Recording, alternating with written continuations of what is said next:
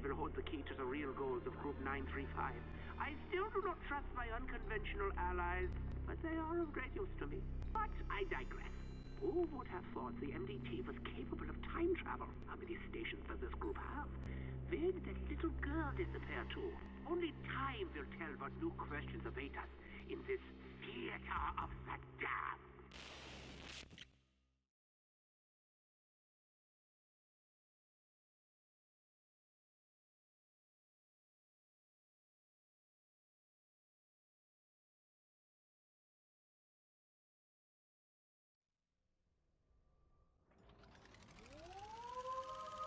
Should go find the power box.